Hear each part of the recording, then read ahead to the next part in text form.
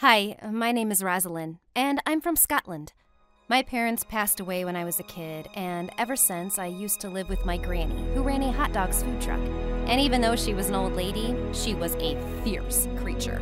Once, when I was eight, I saw a man stealing some hot dogs, and as I started shouting, he ran for his life. Just then, Granny threw a big corn dog that hit him right in the head, and he fell to the ground face flat. And then she went and sat on him until the cops came.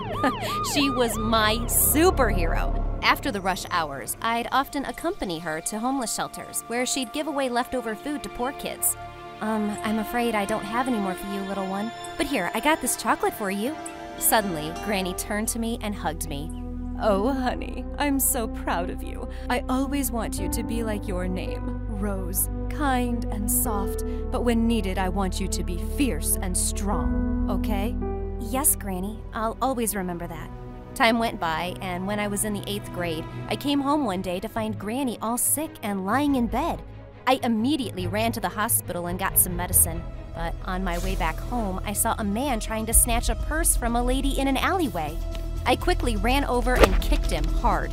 I tried to stop him as he escaped, but suddenly the lady held me back by my hand. Lily, what are you doing here? Lily? What? Who? The thief! He is running away! But she kept staring at me like I was some kind of ghost. And then she started pulling my hand. Come with me. Ugh, she was crazy. I bit her hand and ran away. The next few days, I was busy looking after Granny, but her condition was getting worse and I was running out of money. One day, I heard a loud knock on the door, and when I opened it, I was shocked to see it was the same lady from the alleyway. She told me her name was Emma and she worked for a huge multinational company. But I didn't care. I was ready to kick her out. But then she whipped out her phone and showed me a picture of a girl who looked exactly like me. What, the frying potatoes? Now that she had my attention, she convinced me to go with her to a hospital where she'd explain everything. There, I saw the girl lying in front of my eyes on the hospital bed, my perfect doppelganger. It was so freaky. This is our young miss, Lily. She's in a coma right now, but we need you to replace her. What? You want me to go into a coma in her place? No, we want you to live as Lily in her place.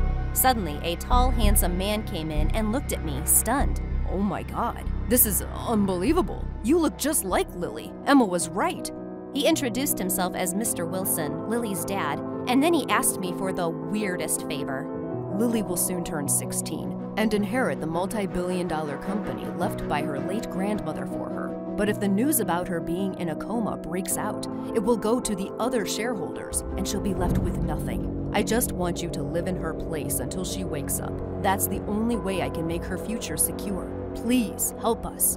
Whoa, this sounded like some really serious stuff, and I didn't want to get involved. I won't be doing this. I'm sorry. I was about to walk out when Mr. Wilson offered me a deal I couldn't refuse. I know your grandma is sick, and if you help us, I'll make sure she gets the best medical treatment. And of course, I said yes, but I had no idea what trouble I was getting myself into. I had to memorize the names and details of all the people in Lily's life before I set foot into her shoes. And God, this girl had the most uncomfortable shoes. I could hardly walk in them. Remember, no one knows about this except for you, me, and Mr. Wilson, so don't tell anyone, okay? Got it. As soon as I entered the house, I saw a gorgeous woman who looked like someone from a magazine cover. It was Lily's stepmom. Freaking pumpkins! You're so pretty. Lily? What? Oh my god, you're awake? That's wonderful news! Wait, what did you just say? She looked at me a bit suspiciously, but thankfully Emma came in and rushed me away to my room.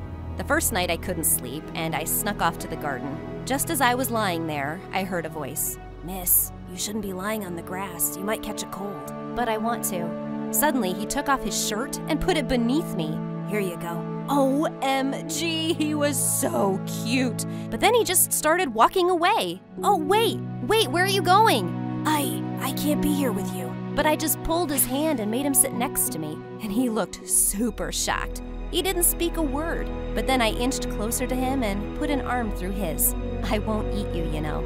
Finally, he started speaking, and we talked for a while. He told me his name was Liam, and he ran errands around the house. And gosh, he had the most gorgeous blue eyes. Before leaving, I gently kissed his cheek, and he blushed so hard. The next morning, Emma came and informed me that we had to attend a big conference at the company. She told me no one would even notice me, but they made me sit on the biggest chair in the room. And everyone was looking at me with melon sized eyes. Fishes! They started discussing things about the new product that wasn't doing well, and I didn't know what to do. So I picked up a drink in front of me and started slurping it. And it was disgusting. What do you think is the reason for these low sales? Yuck! Ugh, this tastes like toilet water. Why would anything like this sell? Oh, shoot. I wasn't supposed to say that out loud. All the people turned to me like I'd cursed them. Go on, tell us what you think, Lily. Um, I'm sure you've seen people gathering around stalls on the streets, but it's not just because the food is cheap. It's because it tastes good. But if we will give them lemon mixed water, who'd buy it for $20? At first, they looked at me in shock, but then they all nodded, including Mr. Wilson. I thought he was going to be super mad at me, so on our way back home, I apologized to him for speaking out. Oh, don't be sorry, Rose. I was really impressed you spoke the truth in front of everyone. Thank God. That made me take a sigh of relief. When I got home, I was exhausted and fell asleep as soon as I got to my bed. But sometime later, I woke up to see Liam there, taking off my shoes. Aw, he was such a darling. Liam, you don't have to do that. It's fine. I know you must be tired. I was just trying to. I couldn't resist and pulled him in for a kiss. Whoa, what was that? I think, I think I like you, Liam. But Lily, you're so rich, and I'm just a. For a moment, I wanted to tell him who I really was, but I was afraid he might hate me after that. I don't care about anything, Liam. I just want you to know that I like you. I like you too, Lily. The next day, it was Lily's birthday, and there was a huge celebration in the evening, and I was freaking out because I knew no one. Suddenly, a weird looking guy came to me and asked me for a dance. Come on, enough of being mad at me, princess. Let's hit the dance floor. Um, no thanks. I'm good. Come on, baby. I'm still your boyfriend. And I'm sorry I kissed someone else. But she kissed me first, okay? Sue me. Oh, don't do that. Uh, how about we just uh, forget about it? Ew! He was such a creep. Just then, he kissed me on my cheek. And Jesus, Liam saw him doing that, and he looked pissed. I pushed the jerk away and ran after Liam, but this Romeo guy pulled me back by my hand. Uh, let go of me, you moron. I slapped him hard in the face. But just then, Lily's stepmom came to me and went all bonkers. Lily, what the heck are you doing? Why are you creating such a scene in front of everyone we know and running after that servant boy? But I. I saw you with Liam the other night as well, but I didn't say anything. Don't get any stupid ideas, Lily. And get back to the party, now! Ugh, I really didn't like this woman. Later at night, I decided to sneak out and go see Liam. But just as I was climbing down the windows, I heard Lily's stepmom talking over a phone. I told you to get rid of Lily, and she's still here, roaming around. Don't you get it? I become a major stakeholder once she's gone, and then I'll have all the money and the company to myself, you idiot. OMG. I couldn't believe what I was hearing. I tried to take my phone out and record it, but I lost my balance and fell in the bushes. But now that I knew what an evil witch she was, I had to unmask her at all costs. The next day, there was a big event where everyone was gathered to sign over the company documents, and I was gonna be a freaking billionaire for a while. But just then, something bizarre happened. Stop this nonsense right now. This girl's a fraud. She's not Lily. I am. Holy moly. Lily was standing right in front of my eyes, all fine and well. Oh, Lily, it's not what you think. Suddenly, she slapped me hard on the face.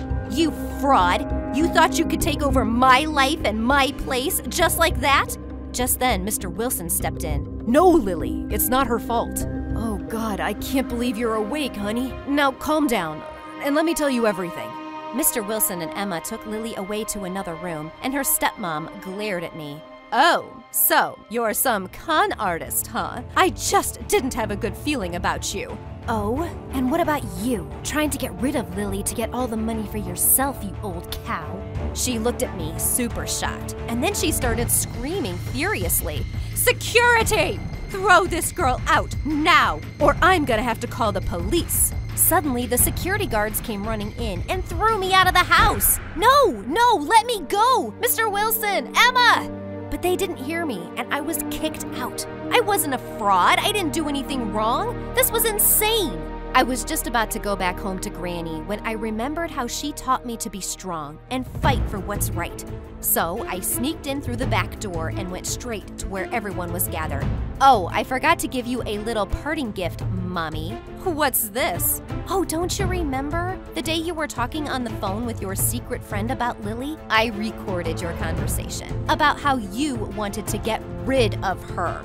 Of course, I didn't record anything, but she totally bought my lie. I'm gonna kill you, you filthy rat! She pounced at me, but thankfully, Mr. Wilson stopped her. Enough! I can't believe you'd do that. I loved you so much and gave you everything, and you hurt my kid? How could you be so evil? What for? For the money, what else? Why else would I marry you with your stupid kid? I want all the money for myself, and what's wrong with that, huh? You know what? I'm gonna kill her right now. She ran towards Lily with a vase in her hand, and that's when I jumped in to take her down. Just then, Liam came running in to help me. Mr. Wilson immediately called the cops and had that evil woman taken away. After all the chaos, Lily came to me. I'm so sorry for hitting you earlier, Rose. Thank you so much for everything you've done for me. And please forgive me, okay? It's fine, Lily. You don't have to. No, I really owe you everything, Rose. I will make sure you are rewarded very generously. And if there's anything you ever want, you only have to ask, and I'll make sure your granny gets the best care. This was amazing! But there was still one person I had to talk to Liam. He was standing in a corner in complete shock, and I took his hand and led him outside. Um, I'm sorry I couldn't tell you who I really was, but I never lied to you about my feelings, Liam. I thought he was gonna be mad, but he winked at me and said, I